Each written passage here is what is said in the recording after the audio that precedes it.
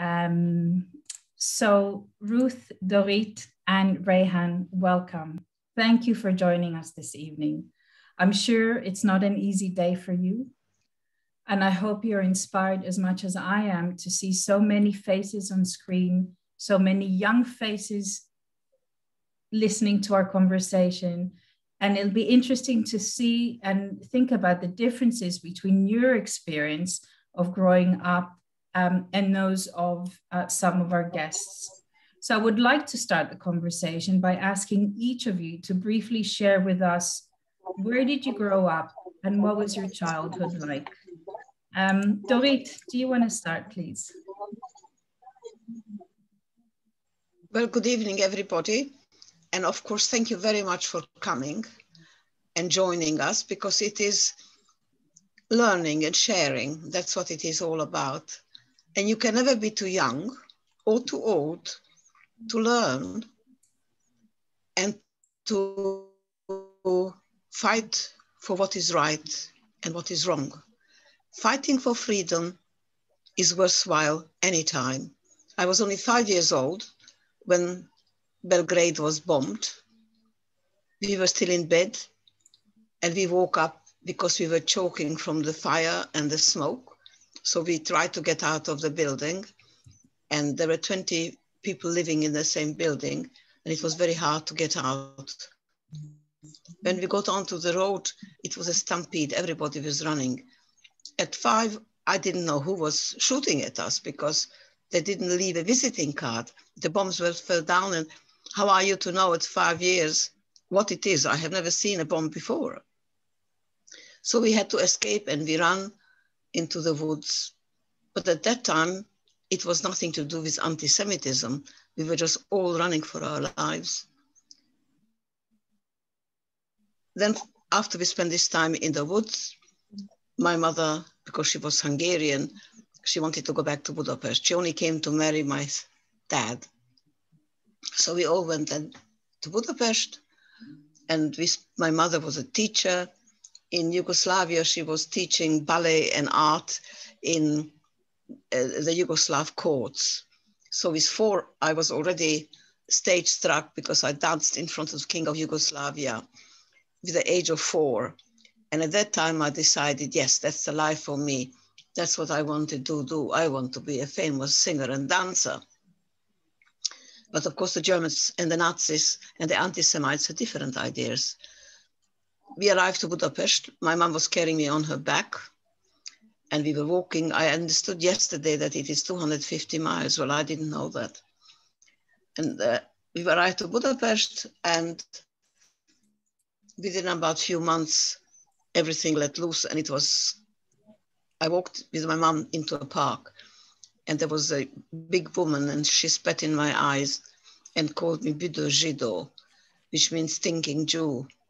Well, I was only five and a half years old and I didn't even know what it means to be Jewish because we were not religious. And of course, that was a time, and suddenly my mom, I thought she would spit back at this woman, but she didn't. I was quite disappointed because my mom would look, she was like a tiger anybody looked at me and she would go, ooh. But of course, she understood that the, this time it was not just a little conflict, that it was much more than that.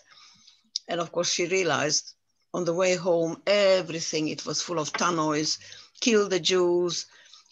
It was announced that everybody had to wear a yellow star of David, the Magen David.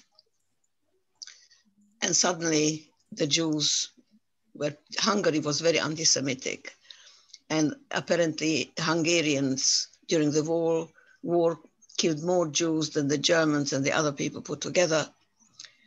I spent the war running and hiding. I was picked up by the Nazis twice and put into a, a, a, a sorting house before they put me in a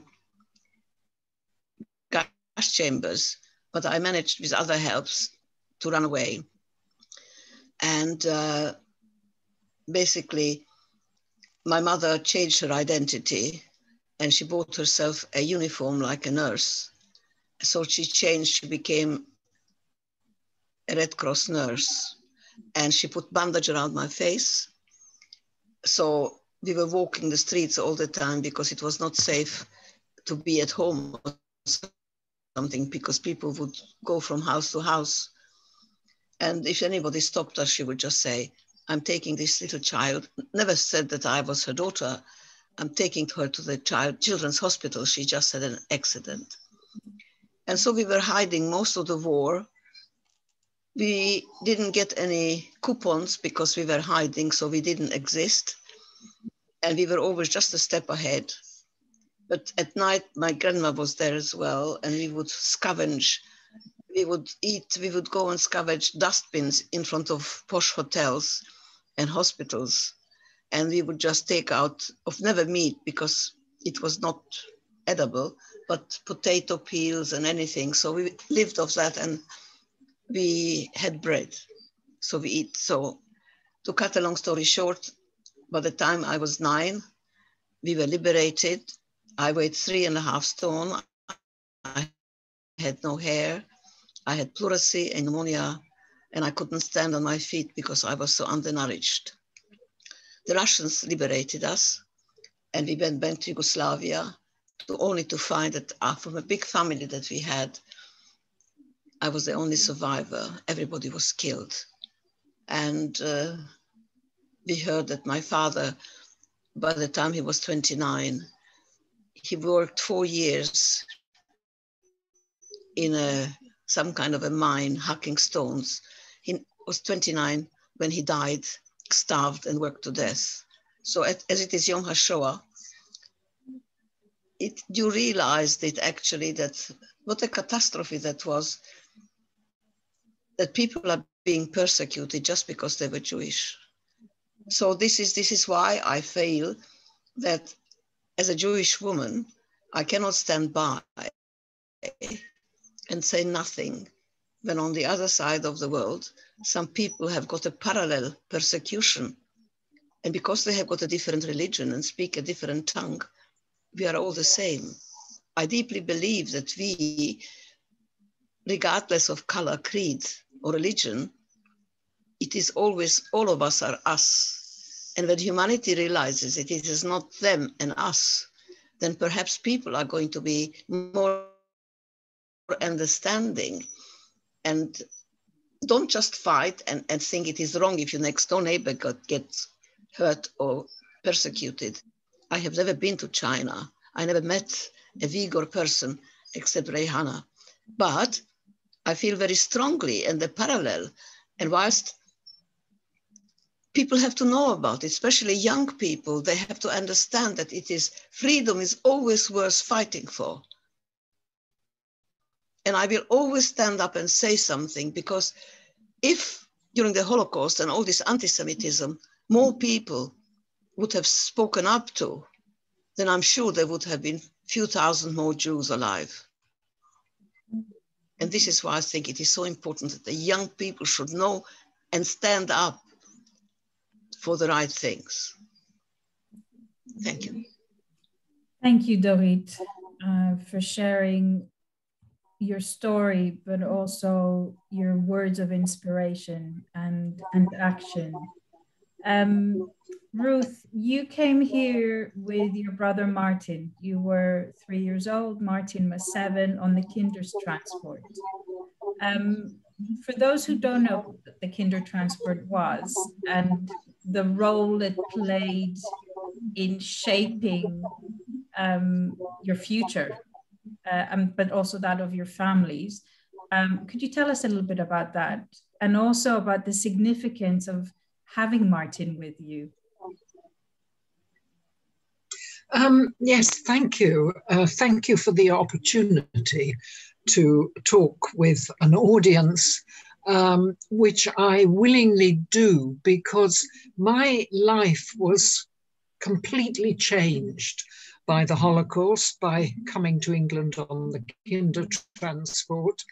Um, my identity was so messed up from being moved around that it was 50 years before I could face the past and begin to unscramble my identity and find my true self which I have been able to do with the right kind of help at just the right kind of time. But not everybody, the 10,000 children who came to England on the Kindertransport were able to do this. And some lived a very much messed up life because they didn't get the chance to do so. That is why I like to tell my story to people because it is still happening around the world in many places to families today. Families are being separated and traumatized and it's very difficult to get a family together again after they've been so deeply traumatized under such conditions. And uh, what absolutely appalls me is that the world in general turns a blind eye and a deaf ear to what is going on. And so far, we have not stopped any genocide before it's run its course and very few um, uh, victims and survivors have had any justice, and very few perpetrators have so far been held to account. And therefore, I want to raise awareness of this that a civilized human race would simply not allow genocide to continue and would have got rid of war by now which is usually the cover under which uh, genocide happens, though it's not a war in the case of the uh, persecution and genocide against the Uyghur. I was born in Berlin. Uh, my father was a judge. My mother ran a state of the art cinema advertising business. We had a golden future in front of us until the Nazis came to power in 1933 and inside a year had destroyed all that for the Jewish community. By 1939 and the horrendous attack on Jewish communities in every city across Germany and Berlin, Kristallnacht, the writing was on the wall that it wasn't going to blow over. It was almost too late for most people to get out, but um, my parents managed to get my brother, age seven, and myself, aged four, to England on the Kindertransport. Um, that was a major rescue, uh, sanctioned by the British government, but uh, not actually done by the British government. It was left to uh, philanthropic organizations and individuals to do the actual work quickly of forming a network to get the children out. 10,000. There would have been more if war had not broken out at that time. A major rescue, but it was not the end for the children, it was the beginning of a very hard childhood. Um, my brother and I were in three foster families and a hostel. Each time we were moved on very hurriedly, no preparation, not taking anything more than uh, the clothes we were in and what we could carry, um, which was very disorienting. Now, at four years old, I really didn't understand what was happening, and I experienced it as being rejected by my parents as too naughty, too rubbishy, they didn't want me anymore. Um, I was quite used to being uh, left with my granny, uh, my Christian granny, my mother was uh, not Jewish, um, and my mother would come and pick me up again after a day or two. So that was quite usual to be taken on a long journey. Uh, I remember quite clearly, and then left with strangers I'd been introduced to. Um, it was only when my mother didn't come and didn't come and didn't come that at some point it hit me she was never going to come. She had rejected me as rubbish um, that was unbearable. So in my mind, she must be dead. Otherwise, she'd be with me. um, it was too unbearable to think she chose to be somewhere else. Um, for my brother, it was different. He remembers uh, his first home in Germany. I have only snatches of memory. Uh, my first home was in England, but it was a very tenuous home. The first foster family was a disaster.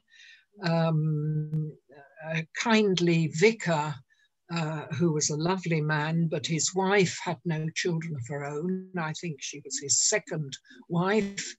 And I, she really didn't want to look after uh, two refugee children who are not easy to look after. They're desperately homesick.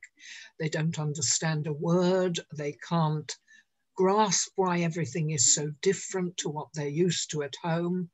And when the war began, and uh, our mother didn't come to pick us up and take us to where our father escaped to, uh, which was the plan.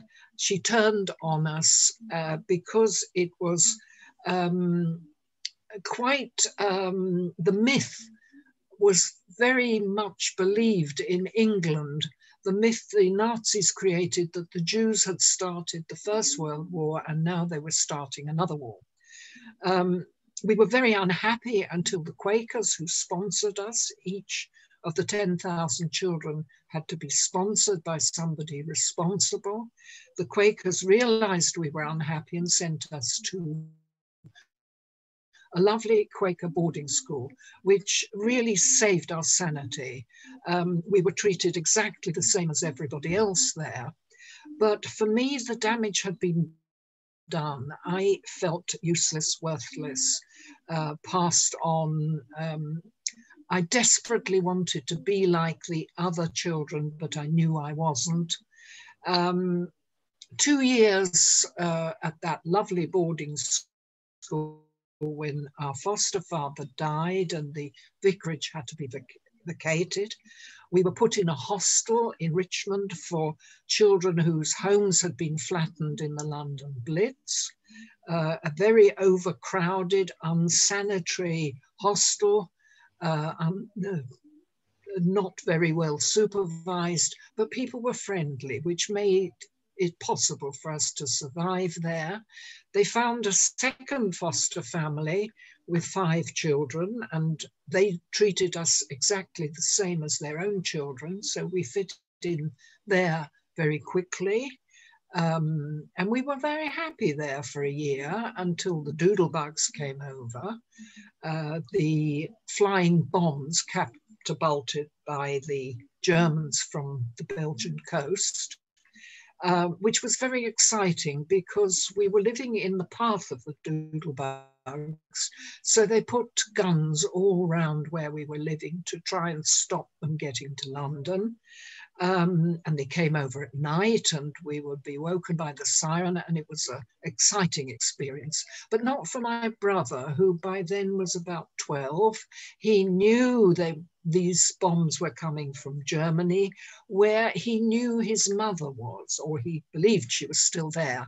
So he experienced the doodlebugs as if his mother was throwing bombs at him and if you believe that, you really can't cope with it. He went berserk. And we had to, he had to be moved. And they found a third foster family who didn't think that two children should be parted if they'd been together through the war. And they were right. We didn't even know it ourselves how important we were to each other at that time.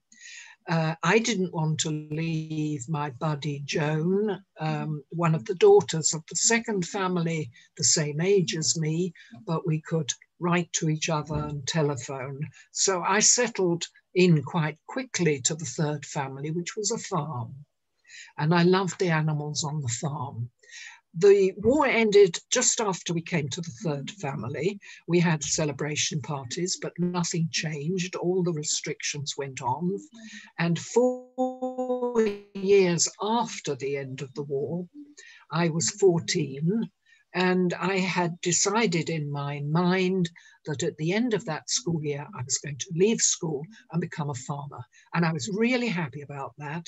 I was very, very good with the animals. I was going to raise animals. And I really thought that was as good as life can possibly get. Until one day, my mother appeared out of nowhere. That's how I experienced it because grown ups made the arrangements and then they told you. I was told, this is your mother and she's going to take you to Germany with her. That was the last straw. I had been thoroughly brainwashed with British propaganda against Germany all through the war on the radio, the comics I read, the newspaper. Everything was about nasty Nazis and that terrible place, Germany.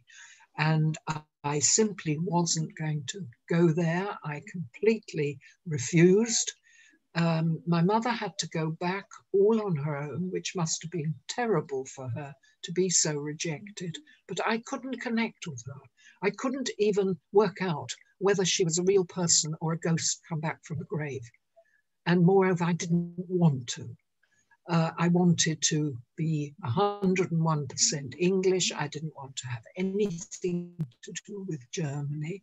I might have been willing to go to America. That was an exciting place. But Germany was simply terrifying for me. Um, when my mother got back to Germany, my father had returned from Shanghai, where he spent 10 years over the war period. Um, he had difficulty getting back to Europe.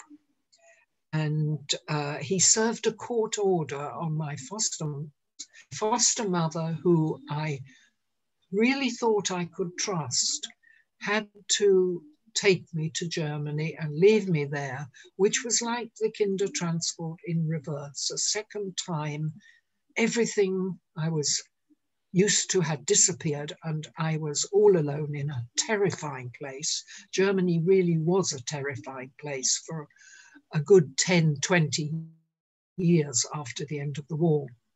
I couldn't cope. Uh, I refused to do anything my parents wanted. I would run off and get lost. And I threatened to um, make my way north and and hide on a boat to get back to England. At which point, my parents said that I could go back to England if I promised to stay at school and visit them every school holiday, which of course I did and gradually got to know Germany and German people and lose my fear. But England has always been my home. No way could I ever settle in Germany. That was the worst year in my life. It took a year to get back to England because I had no nationality. And I had to travel out to Germany in 1949 with a document which had person of no nationality across the top, a nasty piece of paper. That is why I've called my autobiography for schools Person of No Nationality, because you tried traveling with a piece of paper that says person of no nationality across the top, and everybody looks at you as a freak and a fraud. And that was burnt into my mind, and it completely messed up my uh, identity I tried to be 101% English until I was 54 and one of the Kinder of the kinder transport organized a 50th anniversary reunion of our coming to England, at which point I had a stable career as a teacher, a stable marriage, three teenagers, and I felt strong enough to face the past, which I did very quickly. And quite soon after that started talking in schools to help the teachers when they had to teach the Holocaust in 1991 suddenly with no preparation, no courses for teachers beforehand, and I've been doing it ever since. Thank you, Ruth. Um, you, I've known you now for almost six years, and you have always been a force to be reckoned with. But this is a whole new side. And I think it speaks whether you're first generation Holocaust survivor, second generation, whether you were on burning Europe at the time or here in the UK, the, the effects of whether yourself or members of your family. Uh, Rayhan, your brother Ex Ekpar, um, yesterday you sadly marked the fifth anniversary since he was forcibly uh, detained by the Chinese government after actually visiting you, uh, being uh, representing his generation as a young leader. And you and your family have paid a very high price, first for leaving China and then also for speaking out. Um, you are the, the equivalent of the second and third generation being affected. What is your current contact with your family and what is the impact that this has had on you um, in the last five years?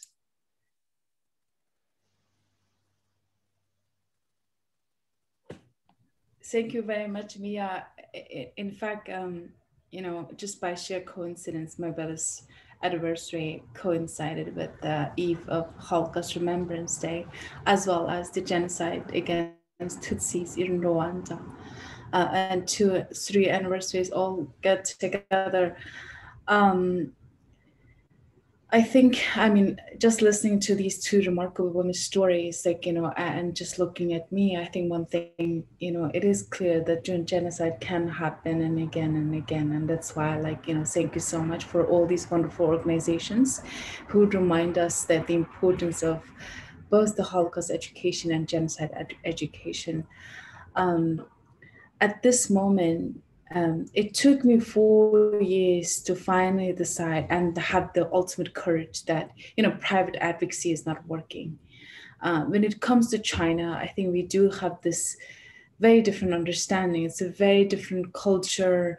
They don't like this Western way of like being a very fierce advocate like you need to work within the system like be quiet try to like you know reach out to their better angels and get your brother out and i've tried that i've tried that route at the advice of many China experts, and none of that worked out. So last year was the first time that I spoke at my alma mater, where my brother was supposed to come to my graduation and he never made it. And just remembering that day, I kicked off my campaign and started with the New York Times later, which is a major publication at the top in the US. And so this past year has been relentless. Um, I've been just like advocating for my brother, but uh, sadly, um, my parents are in, still in China. So my communication with them are very much limited.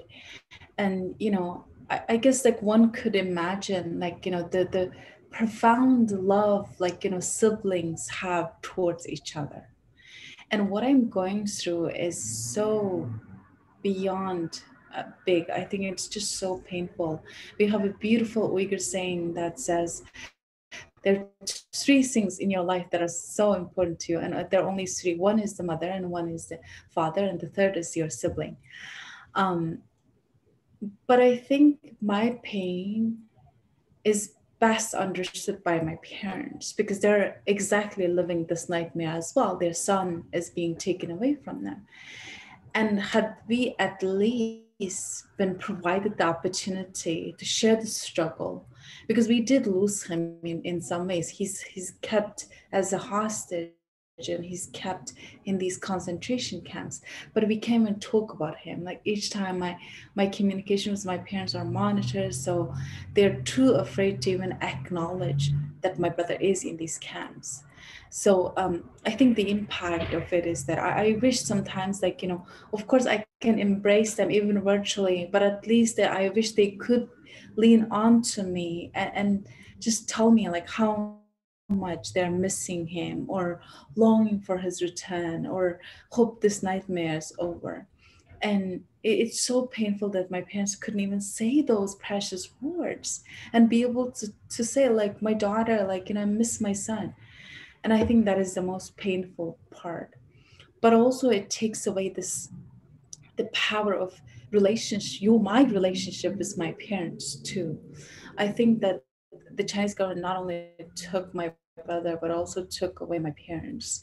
Because like now our conversation has been so limited to just small talk. Like, you know, we talk about, oh, like how's the COVID in the United States? Like, are you uh, are you eating well? Like, you know, how's your work? And but we can't talk about those profound feelings and the pain that we're going through. And that what makes the relationship so powerful because we share we share like you know today like we got to learn these wonderful individual stories.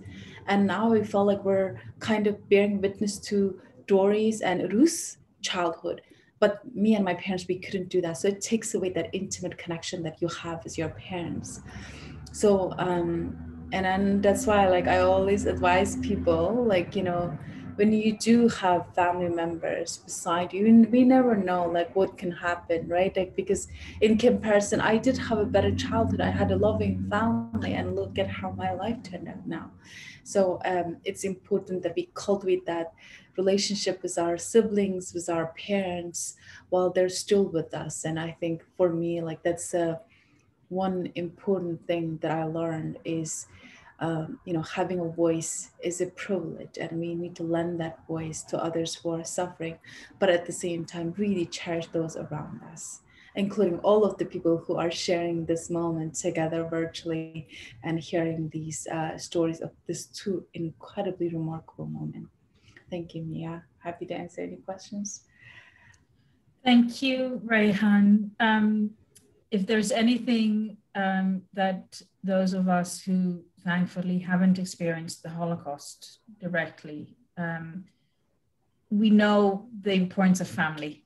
Just the last year, those who have been um, unable to meet, talk to family, uh, hug loved ones, the ones we love, the ones we fight with, but just knowing that the option is there. I think I could never understand what it is to go and experience what you and, and Ruth and Dorit and so many others have directly experienced. Um, but yeah, really powerful. Um, Dorit and Ruth, since arriving in the UK, you you each through your journey, which you shared with us, really have taken it upon yourselves not only to tell your story, um, but to make sure that other stories are also heard. And only recently, you firmly challenged the UK cover, uh, Parliament and indeed Boris Johnson himself to vote on a genocide amendment to the trade bill, which would recognize China's actions towards the Uyghurs as genocidal. Um, earlier today, Ruth, you shared with me your concern and frustration after the response you received from Volkswagen uh, for challenging the company's presence in uh, Uyghur region in China and its involvement in Uyghur forced labor.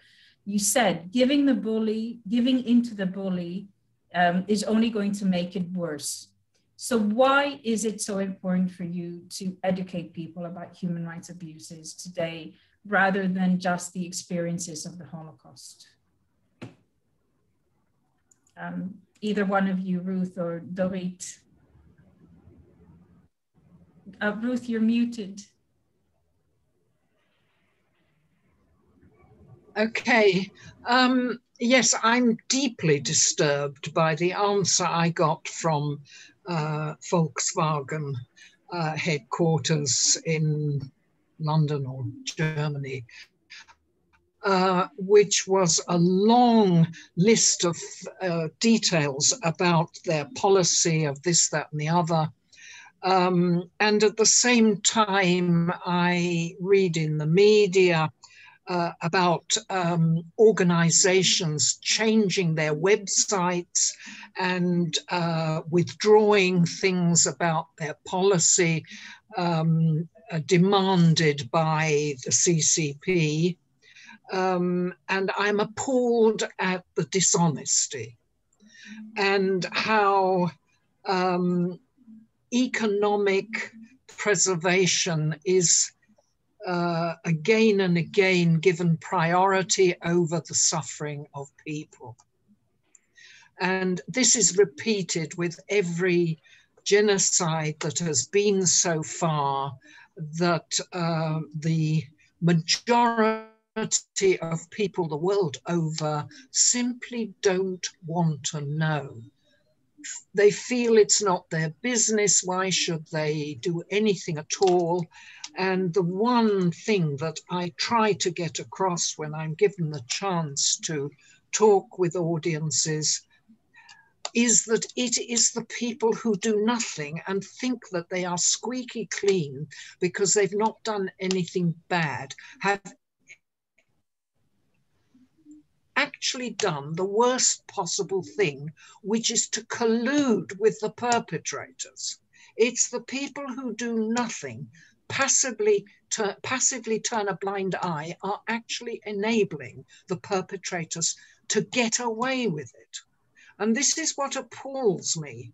They do get away with it. Very, very few perpetrators of genocide have so far been held to account.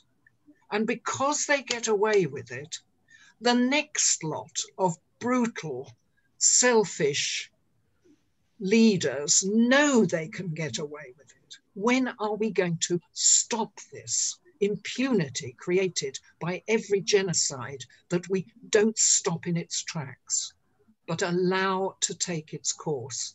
And then we beat our breasts and say never again, which is a hollow sham. I want some honesty. I'm, I, I'm with you, Ruth. Dorit, do you have anything to you would like yes. to learn? Well, unfortunately, we are looking to establish what is the price for a human being. Because it looks as though you're weighing up this is how much profit we make out of a person who is working slave labor. If we didn't have him, this is how much we would lose. But that individual who is doing all the work and the country who is profiting out of it, that person doesn't exist as a person. It is just a means to an end. But if one goes out and thinks about it, how did it get to it? Why is it so cheap? So people are not willing to give up their comforts because they might have to pay a little bit more for a shirt or a car like Volkswagen or perhaps whatever is being produced in, in China at the moment by the people who are being slave uh, the people who are in concentration camps, I feel very uncomfortable and disgusted to feel that we are giving them a bonus, making supporting them. I would rather not drive a car, but knowing that those people who are working on the car has earned the money fair and square, not by being slave labor, and then I can get a cheaper car. The whole situation seems to be not just unfair, but that the people are just accepting it and they don't stand up. I mean, Ruth and I are not teenagers anymore. Got fire in our belly than many 20 years. Having been there, having gone through, You have standing in empathy. And both of us, like it's, I just feel I want to shake people up and say, now look, what would you do if it was your brother? Would you ignore that? And the governments are playing game with each other. They're competing economy and commerce. But it is the people who count. It seems to be that everything priority is commerce. And the people, the, the, the, the, value of humanity is getting less and less.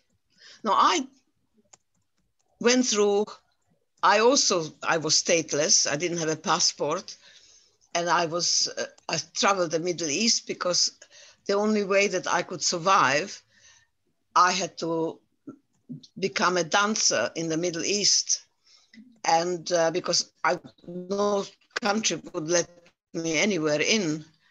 And then I saw an advert when I stayed with my stepfather's parents that they're looking for a ballet dancer for a theater in Istanbul. I signed up for it, and there were 12 girls. And then I was very small, very little, and we were all on stage. And they looked at me, and I had leotards on, and they said to me, What are you doing here? I said, What do you mean? I signed up. But I looked at them, and they were sort of 16 and 18 year old girls, and they all had boobs and very well developed. I was flat chested like a board. So I said, What do you mean? I'm a very good dancer. Yes, but you, what did you sign up for? I signed up for a ballet dancer. I got a certificate. But you signed up for a belly dancer.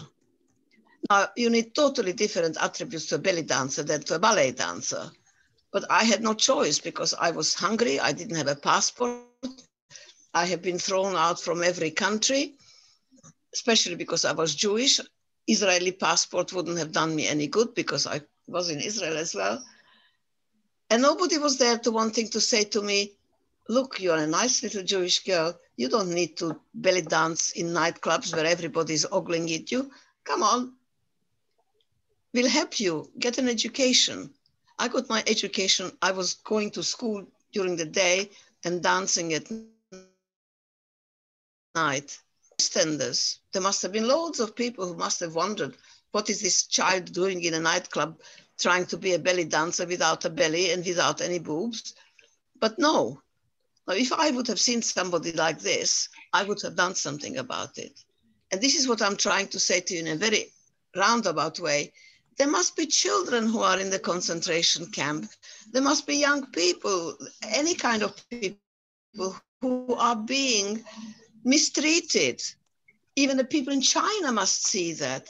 I have nothing against the Chinese people, neither is Ruth. We are both respecting but it is just those few who are taking it upon themselves not to respect other human beings. It's not even that they are doing it to the people in Congo. They are doing it to the people that they were born in their own country. And they must have some kind of understanding that it is wrong. So I feel that I just have to do something. And when I go around speaking to schools, and this is something that's to educate people and to just tell them, look, you are having a good life at the moment, make the best of it. And after everything, if you work on it, nobody is going to knock on your door and say, look, how would you like me to buy you a new car? Or how would you like me to do this? You have to work for it. But if you work for it and you have it, then you must not become selfish. You have to share it. You have to make sure that everybody else has got a freedom. And this is why freedom to me is the most worthwhile feeling to fight for. It's freedom. And all those people who are being locked up against their will, it's not that they have done something bad, it's not that they are paying for their sins. Just like we, all our false, I mean, we were Jewish and that's why we were killed and persecuted. Surely that's not a crime. Equally, those people who are Uyghurs, they didn't choose. That's how they were born. And why are they now being singled out? So whoever, it doesn't matter. And, and I hope that all of us who are now fighting for the right thing to do, if anything else comes up, we are going to be the first ones, aren't we, Ruth? Absolutely because it is you just if you got life and you got the power maybe you are not going to be change the whole world.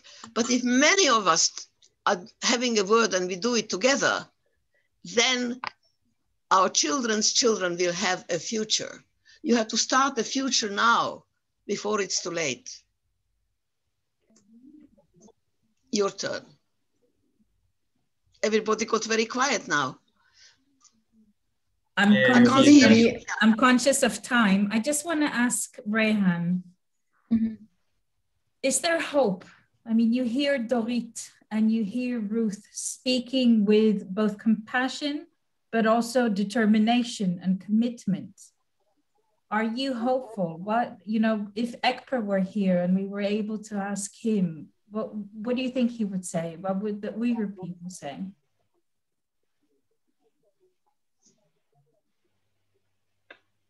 You know, I think um, if he knows like the amount of advocacy and us even mentioning his name, like you know, saying the victim's name is incredibly important issue. When somebody is dehumanized and when they lost their voice and agency, but also in in the, such indignified way, there's somebody outside the world actually like calling for their name and trying to raise awareness. That's the best thing one can do to the human being, to their soul, and, and let them know that they're not forgotten to begin with. But also, like, the, there are people who perhaps come from a different race, religion, and color and creed, but because of our shared humanity, that we are calling his name, we are remembering him, we are trying to save him, and that collective effort would send a hope. Is there hope? Absolutely. The very fact that um, you know, somebody like you know Ruth and Dori who are so energetic and trying to like make the world better because they understand they had this lived experience like how hate can ruin families like you know people are separated. And then look at these wonderful youth advocates like jonathan the old Burst the Bubble and yet again jaya. When i see like they're wearing my brother's name to tell the world that you know Ekpar's life matters it doesn't matter if you're Uyghur. For me, you're my fellow human being. Your life matters. And the injustice that is happening to you, it could happen to me. That's why I lend my support and I speak out.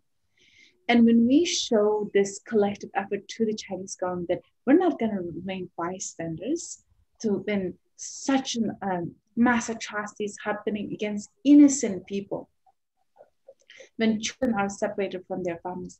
Because at the end of the day, we must remember this. Mass atrocities are often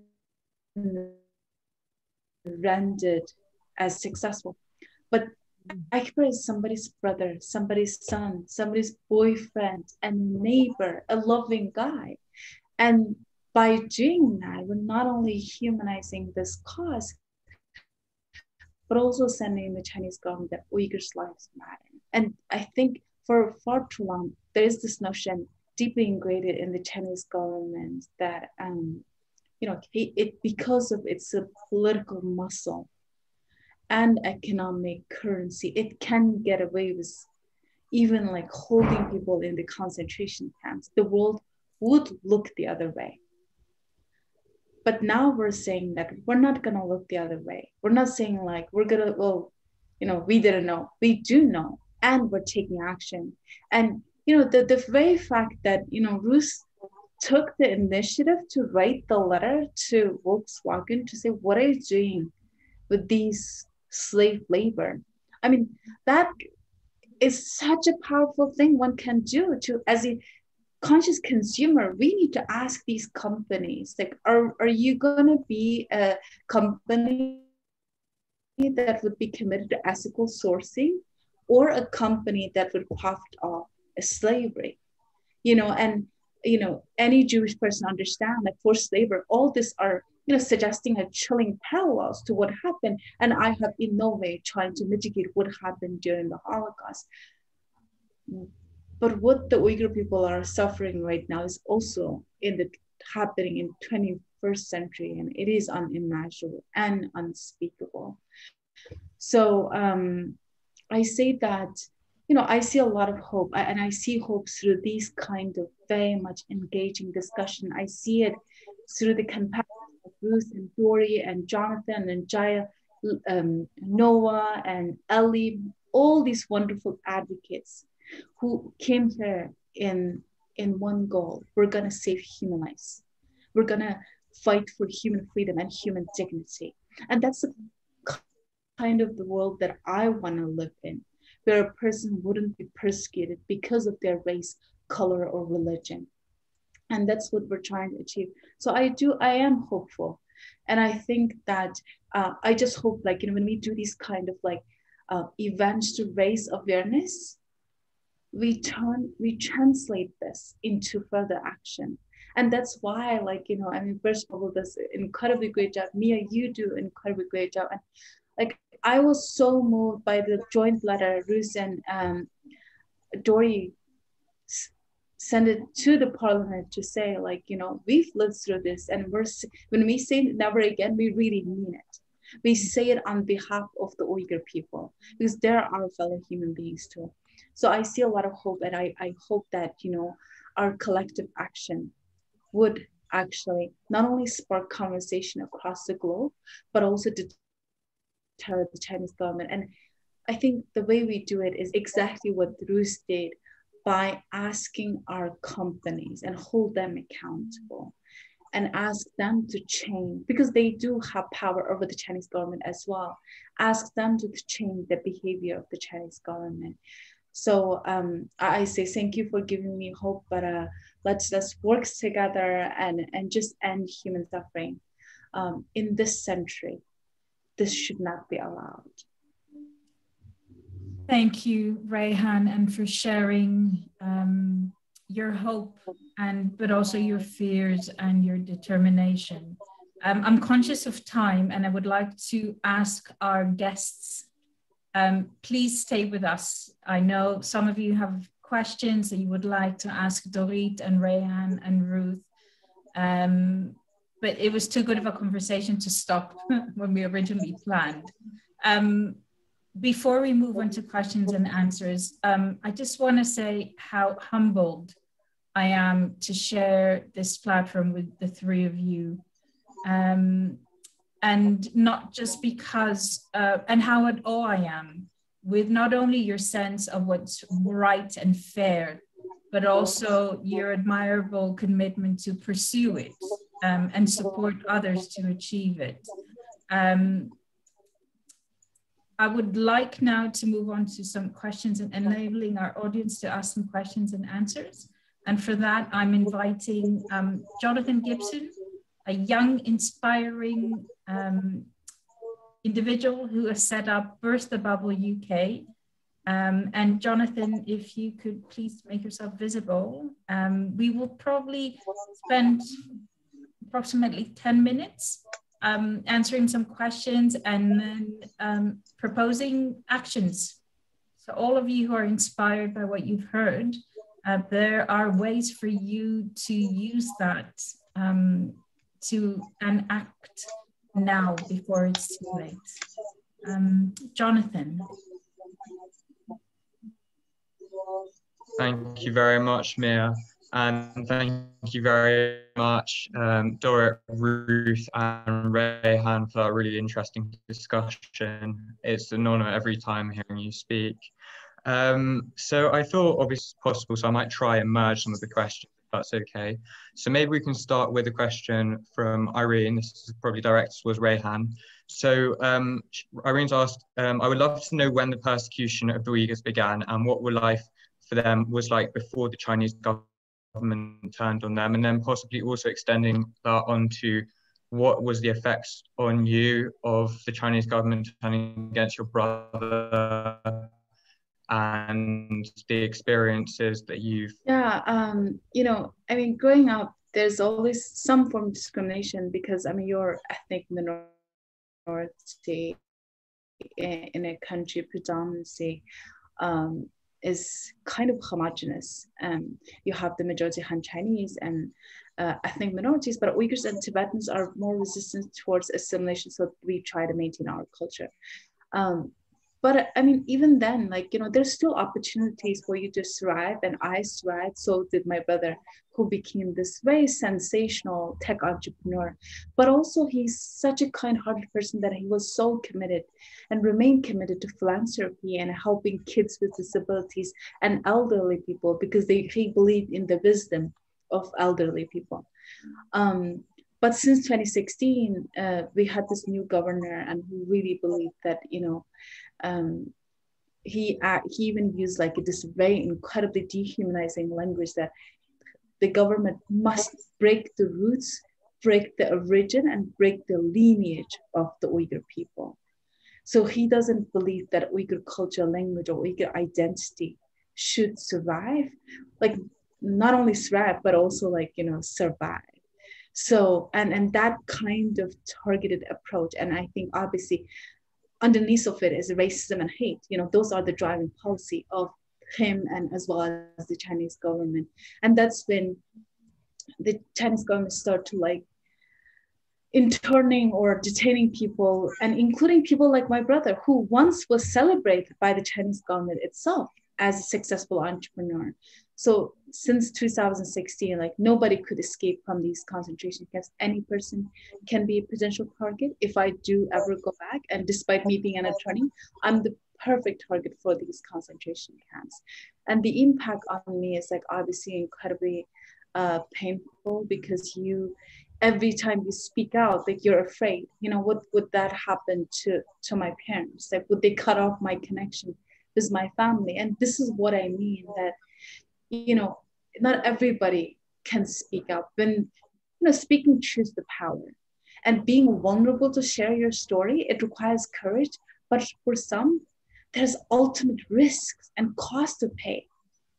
Like when when I, you know, there was a time like even like now like i learned that my brother has held in solitary confinement that, that my parents are under harassment and, and sometimes like you know like they cry and all these sort of things. My advocacy is also causing them some form of scrutiny or pain and they just can't discuss about it. You mentioned the dehumanization. This is actually i met you i think it was last year and we've conducted a big campaign which i might mention as you can see part of it is to humanize people and we got these t-shirts um, to try and humanize the individuals because often you hear these big numbers, you hear the millions, and you don't think about the individual people. And I think that's really, really important. Um, and that's how we form connections as human beings. And I know that me personally and all of our ambassadors and team have been really inspired by Rayhan as well as Ruth and Dora, and hearing their stories.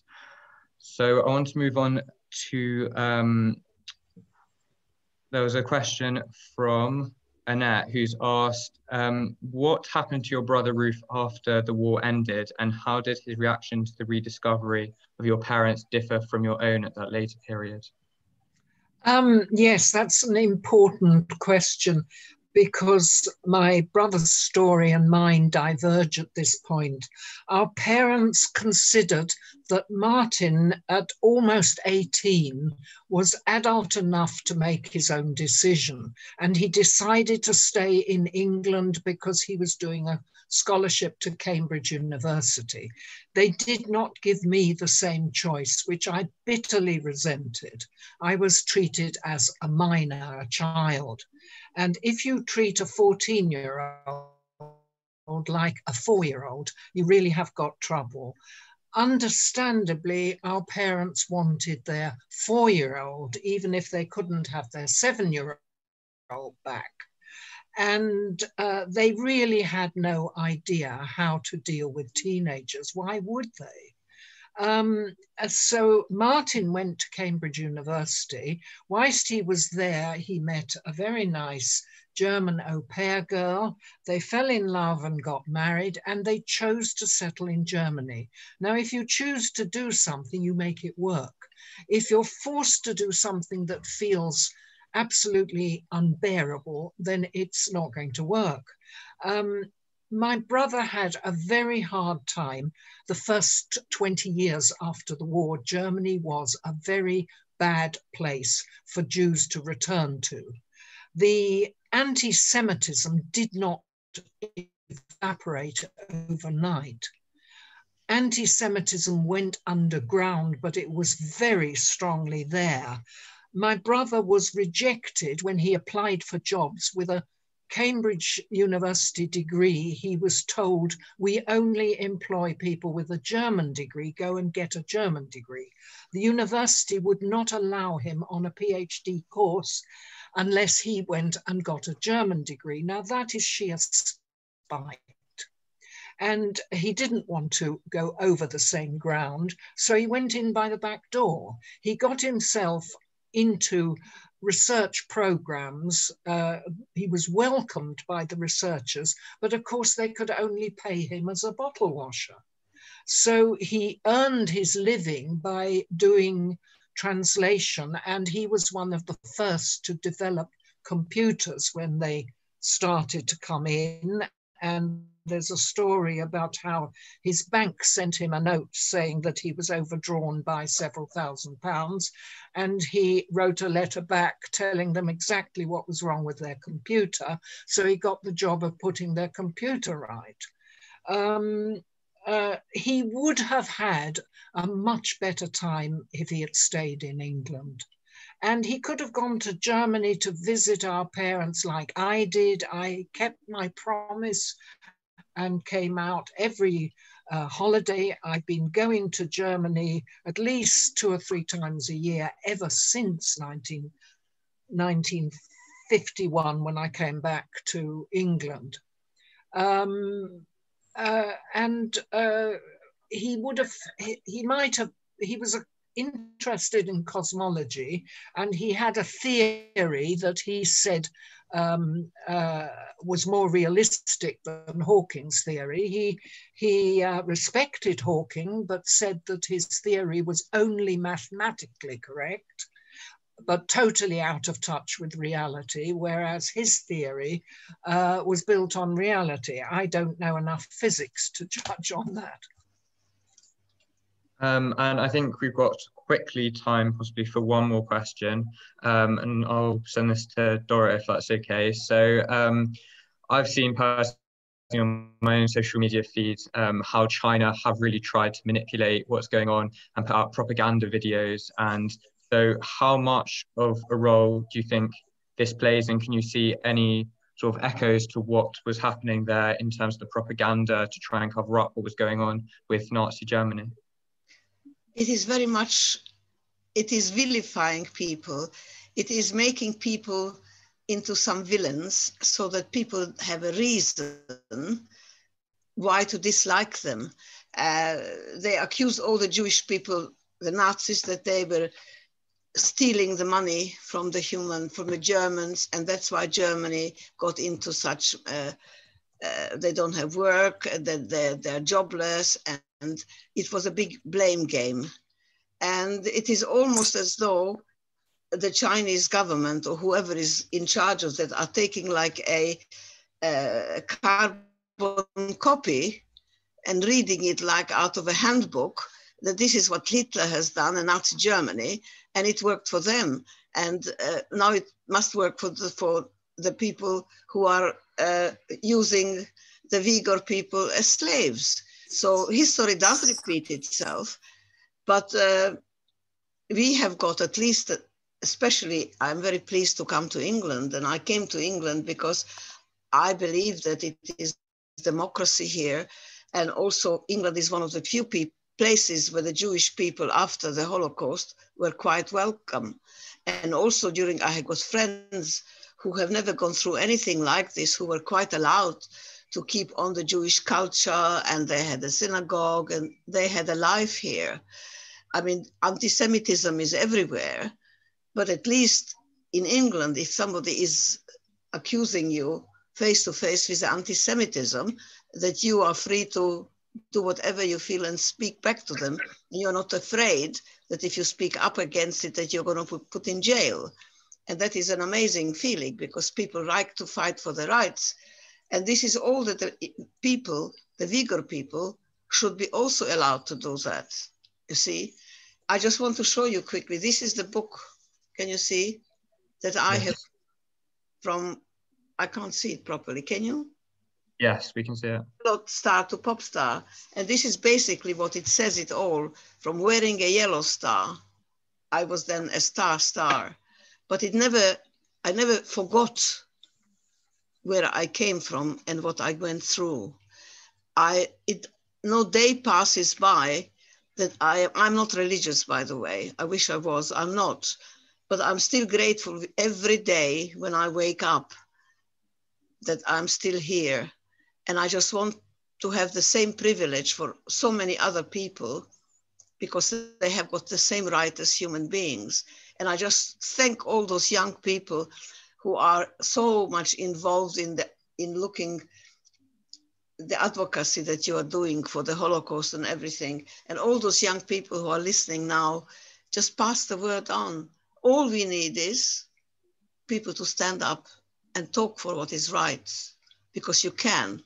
Don't be afraid. You might not be the flavor of the month, but you go to bed proudly and happily. Because time is now. there's no time tomorrow and after tomorrow. If you want to have a tomorrow, we must achieve it today and work for it. Thank you very much. you are doing a wonderful job as well. And I mean, it must be quite difficult to, to do A levels and to do bubble, bubble, hubble, bubble. So, you know, I'm thank you very much.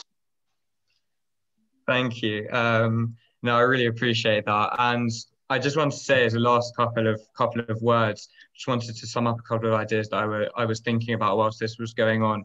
So yesterday we actually had the privilege to speak or show a tribute alongside Rayhan at the five-year commemoration of Ekpar's disappearance. And yesterday also marked 27 years since the Tutsi genocide, a genocide that killed at least 800,000 people with a tenth of their country being massacred, in which more than 250,000 people were thought to have been burned. And today, today is Yom HaShoah, or Holocaust Memorial Day, where we reflect on the six million Jews that lost their lives. One of my um, one of my great grandparents, out of his nine siblings, seven were killed, with all of my grandparents' families also being murdered in concentration camps. And I've realized that unless people stand up against genocide, the words yet again will remain hollow. And it was actually last year when I went to Poland and I was listening to a really inspiring woman called Miroslawa, who was not actually Jewish, um, but she herself saved a Jewish girl um, by hiding her. And I began thinking, if I was in that same position, what would I do? In the time, 83% of Americans were isolationists. Jews were turned back on, um, on ships heading to the UK, back to their imminent deaths to concentration camps. And I just wanted to be able to tell myself that if I was in that scenario, particularly if I wasn't a Jewish person, that I would actually get involved and I wouldn't just stand by. And that's what really inspires me to get involved. And it's together with this and meeting Rayhan and other Uyghurs and Holocaust survivors who have suffered and are currently suffering. It's inspired me to get involved in fighting against the oppression of those who have suffered today. So I quickly, really quickly want to share with you something that we've been working on and some ideas for you to get involved. Can everyone see this? So this is a campaign that we recently did called our Free Ekpar campaign together with Rayhan.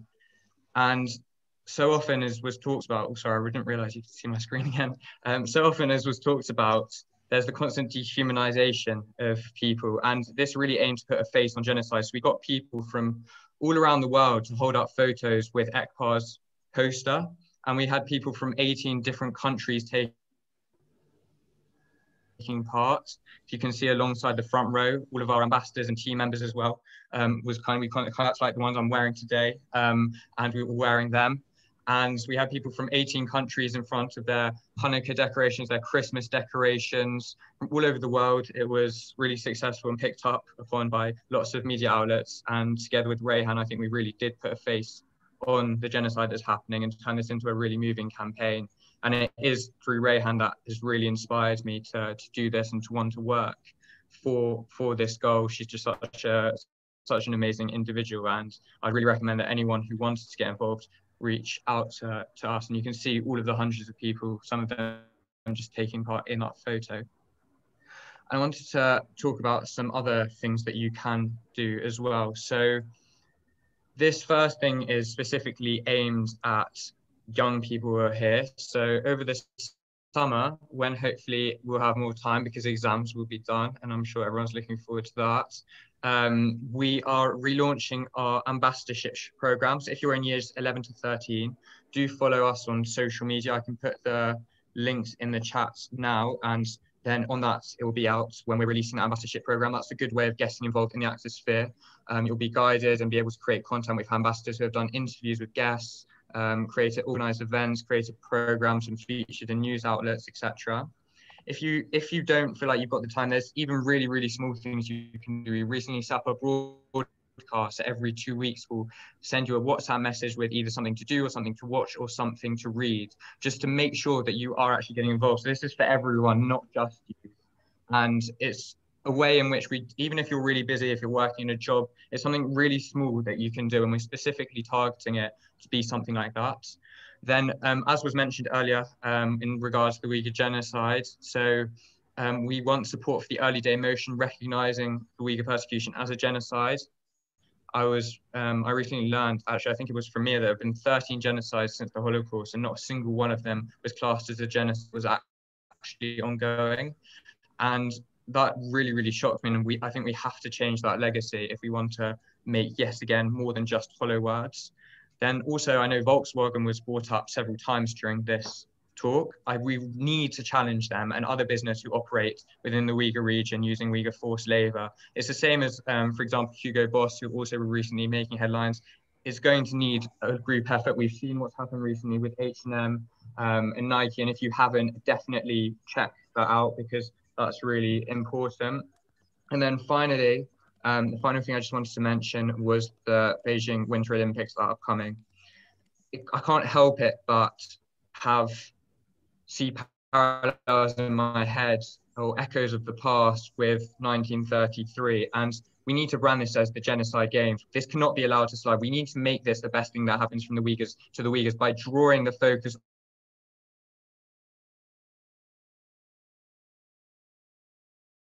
everyone I think can do and everyone can be talking about and branding it. Recently, the US were talking about boycotting it. We need to keep putting pressure and we need to keep fighting so that we're not simply being bystanders and not simply giving in to the pressure of these countries. And now, if individuals from um, yet again and René Cassin also want to put their socials in in the chat, definitely I would really recommend checking them out. They're two absolutely phenomenal groups. They've been of amazing help to us, both in guidance and support and collaboration. Um, and I've learned a huge amount from them. If it's not obvious, I'm I've just turned 18 years old, so this is all quite quite new for me. But I'm learning a huge amount, and I really appreciate all their their support. Um, so I think that was most mostly that from me. Um, Rayhan, would you like some one one final word to put in the chat? I, I just want to have one final uh, word. Um, you know, I think, you know, if anything I learned in life is like active listening is so important. And what I mean by active listening is like really listening to people's struggle because, you know, as I, I kept underscoring it takes a courage to be vulnerable and especially like you know I, i'm supposed to be problem solver like i'm an attorney. I shouldn't i should provide solution not seek uh, support. But that being said um, i'm so fortunate uh, to have been able to lean on to whether jewish voices or these youth voices and, and to seek their support but uh, their compassion because you know sometimes like i really try to reach out to chinese people and ask them to be our advocates and urge their government like please you got to stop this. And sometimes it's been really difficult because they're like what did your brother do? Like you know and like and asking somebody a victim's family like what did your innocent brother do? Like that was very hurtful. And but it, people who understand history repeating itself. This is happening in front of your eyes. Like they don't ask these questions. That they, they want to take away your pain not to add additional pain to your suffering. So for me like that has been truly amazing to be able to lean on onto but the Jewish community, youth community, but also just compassionate individuals. So I, I just want to uh, say to everybody, thank you for listening. Um, it's um, it's an honor because sometimes people don't even have a platform for your for your voice to be heard. Um, so I really appreciate that, and I hope like you know I am able to continue to lean on to you and as well as my community. So thank you, Mia and everybody, Jonathan, um, and, and, and truly amazing work and, you know, for your compassion, for your um, love and support and just being such a great ally that I could ever ask for. Thank you very much. And thank you to, again, just echoing that to, to everyone attending, really appreciate it, um, particularly um, well to, to everyone but also i just want to point um, make clear that there are a lot of youth on the, these calls and i think for me anyway we're particularly focused on youth action and to turn up on a, on a school night or if you're on holidays as well is is really impressive and we we need to get more youth involved because that is going to be the next big campaign. We, we are the, the future, I like to think. So we need to make sure that we live in a better world and that we continue to fight for the good fight and for what's right. So thank you very much, everyone, for attending. And I hope you found it as interesting, as inspiring as I did. Thank you, everyone. Like, like Dorit said, so much. freedom is always worth fighting for. Good night, everyone. I Thank you. thank you. Thank you. Thank Good you. Um, has this been recorded? Can we get a recording of it? Because I missed the beginning. Yes, it will be shared on the René Cassin website, well, probably within the next couple of days. Thank you. Thank you very much.